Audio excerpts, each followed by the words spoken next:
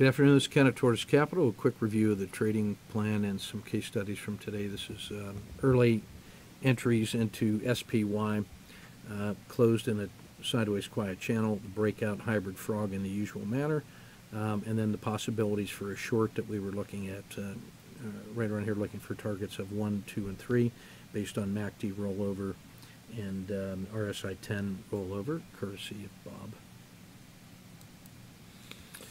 Uh, here was a swing trade frame in uh, WWW on the basis of testing this um, uh, swing low and a breakdown with a rollover in the winter. Uh, so the winter, spring failed in the winter. That makes this perfect choice for a move down to the green line and then down to the belly of the dragon and falling over on the RSI 10 as well. So three W's uh, for swing trading potential. This one's a quick look at a uh, swing setup in sprint on the short side. So we have long measured move, sideways quiet channel, but then collapsing. PSAR has flipped over, breakdown of the previous uh, of the dragon, um, and then the spring has become the fall, and then fallen back here. So this is uh, where RSI weakness gives you an alert that it's the downside, so we can at least go back and test the swing low. So sprint is ripe for the plucking. This one is a form of market classification where we're looking at uh, cumulative four-week new highs and new lows. You put the RLCO framework on it in a MACD four seasons histogram, and you notice from the basis of new highs and new lows that when you are below the zero line of MACD histogram, as you would expect, um, things are getting weak all across the board. And then PSAR flip time, this is a time when strength is coming back into the market, getting a lot more new highs and new lows. And this gives you some ideas about how to come to inflection points and be ready for breakouts in either direction.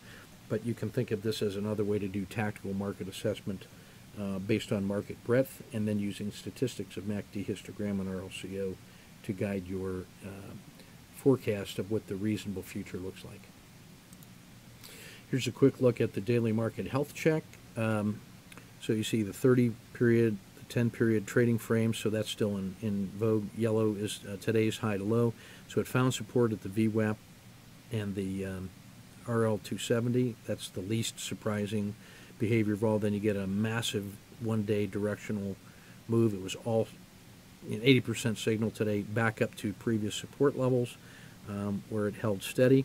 So the trade frame for tomorrow looks like auto long here, auto short here. We're above the Monday opening. Uh, we're still in the winter, so it's one day tactical uh, orientation, but the uh, test of the swing high is still the upside reasonable move. Test of the 10 day low and 30 day low, reasonable move. And as long as that's above the 270, then we're still in bullish, uh, but slowly recovering. Um, one day uh, volatile moves is what we're still looking for.